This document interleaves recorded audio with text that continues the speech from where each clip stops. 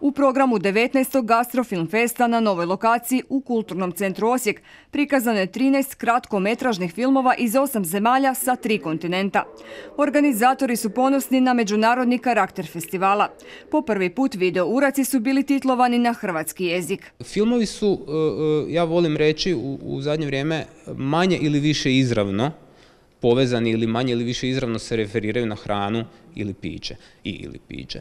E, što znači da u nekim filmovima e, to više je, je komponenta nekakva u slici ili nekakva manje važna komponenta u radnji, da nekakvo društvo pije kavu ili ima konzerve piva ili nešto tako, u nekim filmovima i dalje jel, se govori o, pripremi nečega, proizvodnji nečega, o namirnicama, o uzgoju nekakvih e, biljaka, životinja.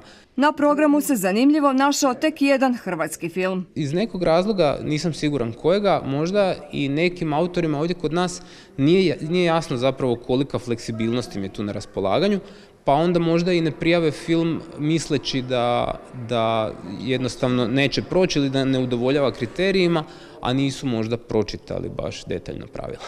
Svi koji su propustili doći na festival, filmove mogu večeras u 21 sat pogledati na YouTube kanalu Videokluba Mursa.